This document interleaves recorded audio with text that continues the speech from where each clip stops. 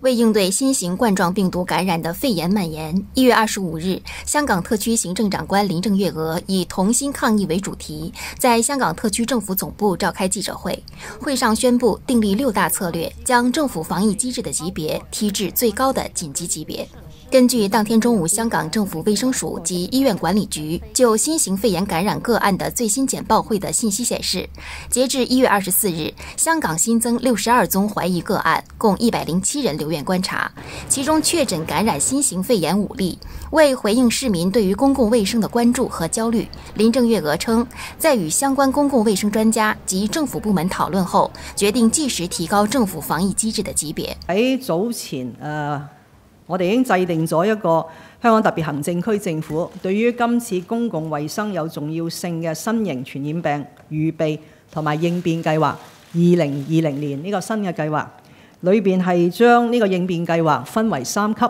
即係戒備、嚴重同埋係緊急。早前已經係提升到去誒嚴重呢一級別，今日我喺呢度宣布呢，我哋將會由嚴重即係 serious 提升到最高級別嘅緊急。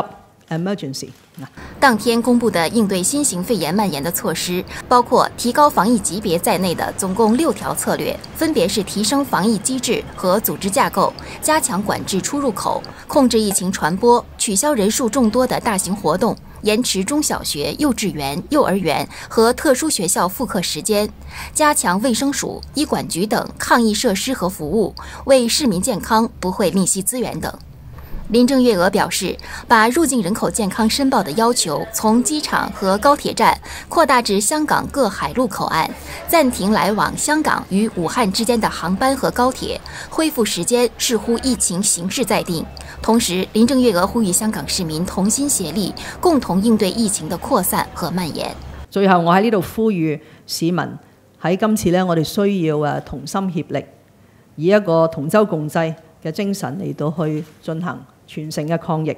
希望能够保护到香港市民嘅健康同埋安全。更多精彩尽在中国新闻网客户端。